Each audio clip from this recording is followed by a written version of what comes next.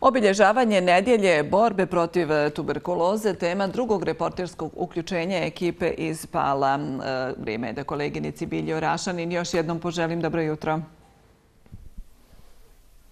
Dobro jutro, Dragana, tebi i dobro jutro i svim našim poštovanim gledalcima. U periodu od 14. do 21. septembra Crveni krst Republike Srpske obilježava nedilju borbe protiv tuberkuloze.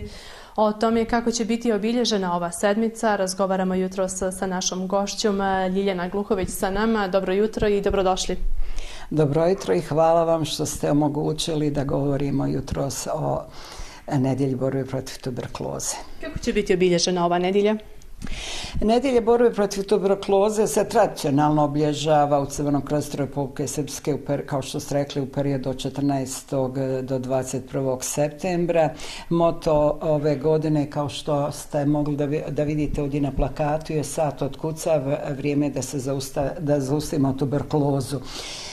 Cilj e, ove e, nedjelje je da se e, podigne svijest stanovništva o važnosti e, poznavanja e, tuberkuloze kako simptoma, tako i načina liječenja. Ove godine e, akcena, Svjetska zdravstvena organizacija je akcenat dala na suzbijanje ove E, ove tuberkloze tuberkuloze koja je rezist, koja, koja se zove rezistentna tuberkuloza, a ona je u stvari oboljenje koje nastaje ako se e, tu, ova obična tuberkuloza ne liječi na adekvatan način, ako se prekine sa liječenjem ili ako se neadekvatno liječi. Zato je e, naš cilj da upoznamo stanovništvo šta je tuberkuloza, kako se liječi, da nije sramota imati tuberkulozu, da je to izlječiva bolest koju treba liječiti. Tokom ove sedmice je planirano i organizovanje brojnih aktivnosti. Koje su to aktivnosti? E, pa naše aktivnosti su podijeljene u nekoliko segmenta. To, to su zdravstvene, socijalno-humanitarne, higijensko-epidemiološke, informativno-propagantne i edukativne.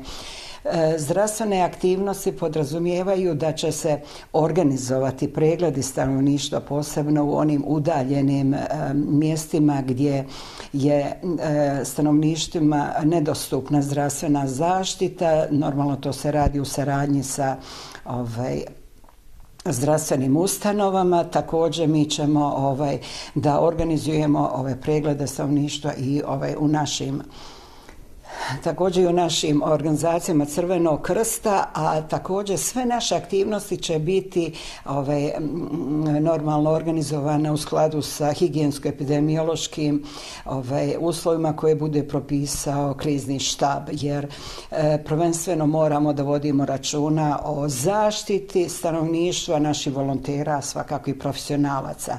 Što se tiče socijalno ove humanitarne aktivnosti tu su predviđene posjete ove e, e, oboljelim od tuberkuloze kako u ustanovama gdje se oni liječe u stacionarima i onim koji se liječe ovaj na u ovaj u kući.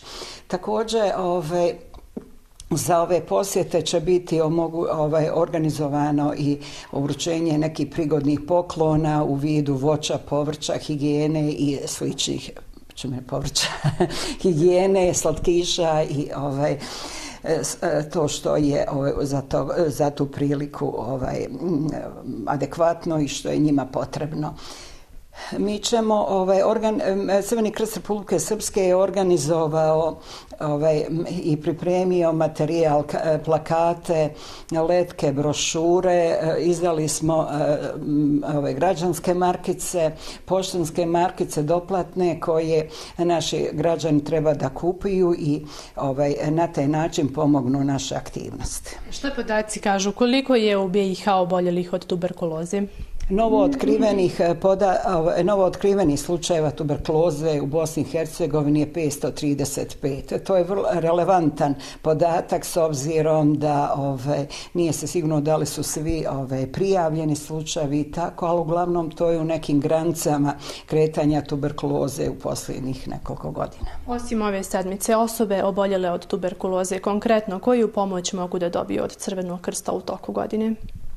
Pa, e, mislim, on, e, Crveni krst Republike Srpske kroz program e, humanitarno, socijalno-humanitarne pomoći omogućava ovaj, našem stanovništvu da dobiju ovaj, i ovaj, pakete hrane, higijene, Ehm, to se normalno radi ovaj, u saradnji sa Centrom za socijalni rad koji ovaj, stalno ažurira podatke iz ovaj, socijalne karte tako da prema njihovi, ovaj, njihovoj bazi podataka oni dostavljaju Crvenom krstu, opštinskim i gradskim organizacijama Crvenog krsta dostavljaju podatke o socijalno najugroženijim stanovnicima, stanovnicima i onda ovaj naši volonteri eh, odlaze, dijele, mislim i u toku nedje crveno, u stvari u toku čitave godine se vrši distribucija humanitarne pomoći, a ovaj to se intenzivira i u nedjelji crvenog krsta, evo sada i u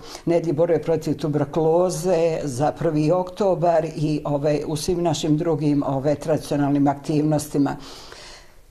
E, mislim da ovaj ne radi se tu samo i o paketima hrane i higijene, nego i ovaj ako im je potrebna i garderoba ili ovaj bilo šta što je njima potrebno, a Crveni krst može da obezbijedi od donatora, od naših prijatelja koji su spremni da pomognu stanovništvu. Ljilja, hvala vam mnogo na odvojnom vremenu. Hvala vama što ste omogućili da govorim o, o Nediboru protiv tuberkuloze koja je jako značajna za Crveni krst Republike Srpske. Hvala vam. Hvala još jednom.